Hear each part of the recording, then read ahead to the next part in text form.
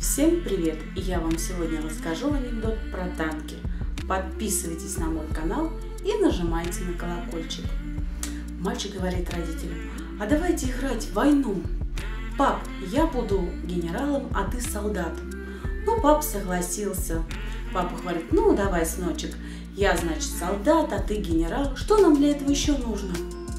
Мальчик думает, думает. Пап, нам нужен танк. Папа отвечает, кто же будет у нас танком? Мама, мама, кричит мальчик. Ну, мама становится на четвереньки и ползает.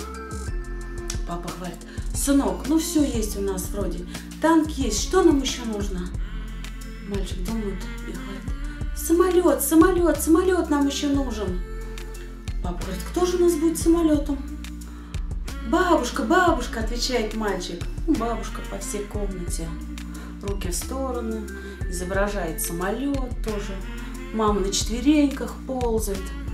Ну, раз такое дело, через стенку услышал всю дедушка. И идет к ним. И говорит, ну, раз все тут играют, и я буду играть. Я буду пушкой. Мальчик поворачивается и говорит, тогда нам нужны противогазы. Ставьте лайк и подписывайтесь.